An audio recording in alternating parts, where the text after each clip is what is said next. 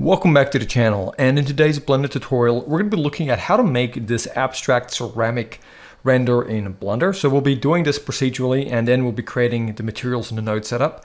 Now this is my original, so the one we're going to be doing the tutorial, I'm going to try and follow the same sort of thing, but it always looks a little bit different. So my expectation is that you'll learn the overall idea and then you go ahead and you tweak your lighting, your reflectivity, things like that. Um, make a big difference in the overall look, especially just tweaking the lighting can have a big impact using HDRIs. So um, look at this as more of like a general guide and then take this sort of idea, run with it and see what you guys can come up with. After all, it's much more interesting to make something that's unique to you rather than looking exactly like a tutorial. So this is the render of my original, this is the setup, but uh, more or less, the one we'll be doing this tutorial is going to be following the same idea. So let's jump in and I will be uploading my original to Patreon as well. So Patrons will be getting access to that.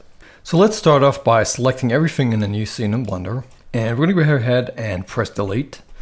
And now let's go Shift A. Let's go to our mesh options. We'll add in a torus. And what we're going to do is we'll actually go over to our modifiers. We'll go add modifier, go search, and let's type in sub Let's give it a subdivision surface. And under the level uh, viewport here, let's give that something like five. And um, what we're gonna do is, well, we're gonna go add modifier, search, and we're gonna go displace, type in displace. And then let's quickly head over, over here to our displace, click new, and then we need to tell it what texture to use. we're gonna go down to our texture properties. And we're gonna come here to the type, we're gonna change it to wood. And you can see we're already kind of getting there, but we want to change it from the type, well, not the type, but we want to go down to the pattern under the wood settings here. We want to do the pattern and let's make that band noise. And now we got this, this kind of cool looking noise effect. Um, we're going to go to the size. Let's make it 0.8 or maybe a bit smaller. Let's go 0.6. Okay, 0.6. And let's give it a little bit more turbulence. I'm going to go with 15 to see what that looks like. Okay, um, maybe 25. Okay, I like that. That's looking cool. But uh, what we can do as well is we're going to just go S to scale it up. In fact, let's go S5 to scale it up five times. And then let's just go Control A and apply the scale. you can see now it looks like this. And um, let's just actually go to the size here, maybe make it 0.8.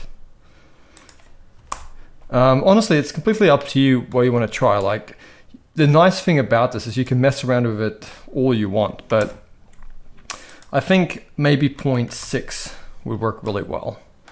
And with the turbulence, it might be a bit too high. I'll take it to 19. Um, yeah, but like mess around with the size and the turbulence, and that's really gonna have a big impact on how this all looks like. What I'm also gonna do is I'm just gonna tab into edit mode. I'm gonna go to my top orthographic view I'm just going to select half of this. I'm going to go X and just delete those faces and I'm going to tab back out. And that's all we kind of need here because what we're going to do now is we're to come in here. First of all, let's just select this, right click and go shade smooth. Let's go to our modifiers and we'll go over here and go add modifier, search and just type in sub, give it another sub surface. And um, let's just put the render and the viewport both at one like this. And we're going to right click and just make sure to go shade smooth. There we go. And now in our front view, we're going to go shift A. We're going to add in a camera. We're going to press zero on our number pad to go into the camera view. And you can kind of zoom the camera back a little bit and then go G, move it up. There we go. And if your 3D cursor is in the middle, you can always go ahead and make your transform pivot 3D cursor. And you can go R, X, and kind of rotate it around the cursor and then move up a little bit. So we're just gonna want a view like this. If you want to, go ahead and go to your object added properties for the camera. You can change your focal length. I like to maybe bump mine up just a little bit more, something higher. And I'm gonna go with that for now. I think that's looking really good. So now let's go over to our render properties. I'm gonna change our render engine from Eevee to Cycles. If you have a GPU, I recommend you use it. And then under your render, I'd recommend you take the max samples and put it up to 45. Now go Shift A, add in a light, add in an area light, and go G, Z, and move it up. And let's go to our light properties, and let's give it a strength of 1,300. And let's increase the size to about 3 meters. And then in our front orthographic view, we're just going to go R to rotate it. And in this case, I might just increase the size even more, maybe like 5 meters. I'm going to have this light kind of coming from the side, like so. So if we now go into our camera view, and we go Z and we click on render, we should see this is what we have, okay? Um, I'm also gonna just go, I kind of like that it's darker in here, it kind of gives a little bit of contrast. But what I'm gonna do, I might just pump the power of my light up to 1500. And that's looking really good. Okay, so there we have that for now. Um, what I'm gonna do now is I'm gonna go into my shading workspace and go into the camera view. And before we actually render this, we're gonna add in a few nodes. So let's click on this torus. Let's go new. And let's just call this ceramic pearl. Okay, that's gonna be our material. And let's take this principle here. We're gonna go Shift D to duplicate it and drag another one on top of it. Okay, and this top one, what we're gonna do is we're gonna come in here, we're gonna give it kind of like a reddish orange color.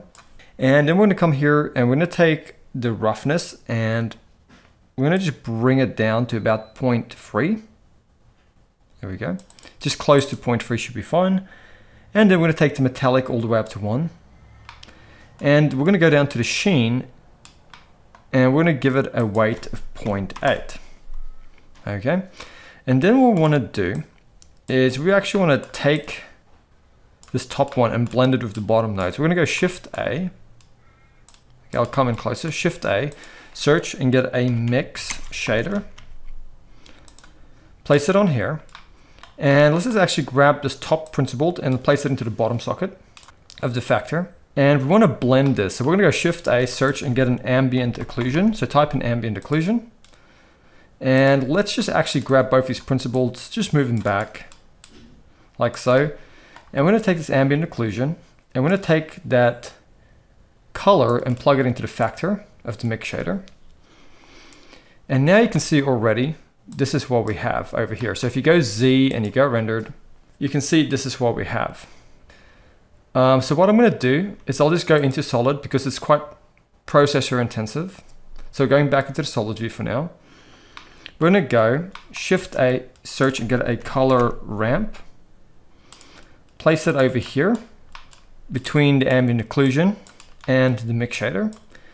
And let's set it to constant and then let's drag this white value down like so.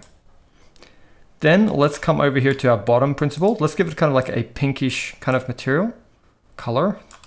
Let's grab the normal here and type in noise and let's get a noise texture.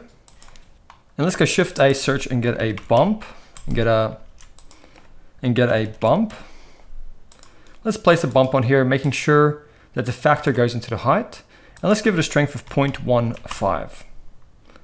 Let's come to the detail and take it up to 9.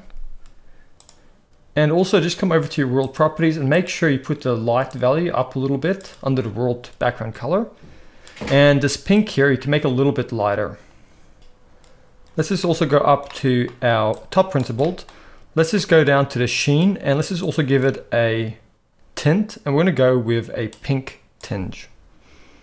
And if that all done, what we can do now is we can go ahead, make sure to save, let's just go render and do a quick test render by going render image. Okay, so something went really wrong over here. So let's just quickly have a look and see what happened. I think what we should do is just select the torus, go down modifiers, and under the subdivision surface, I can see the issue here. I gave it a viewport display level of five, but obviously the render needs something. So I'm gonna take the render up to five as well. And let's just real quick as well, another thing I was thinking about, instead of having this as a noise texture in the bottom principle, let's just delete that and go shift A search and get a wave. And we'll go with a wave texture, plug the factor into the height. And then we'll go from bands to rings. And let's give it a distortion of like 5. And then increase the bump strength to like 0.2. And then let's go Shift A, search and just get a ramp. Get a color ramp, place it on this cable and make it constant as well. And just drag this white value down.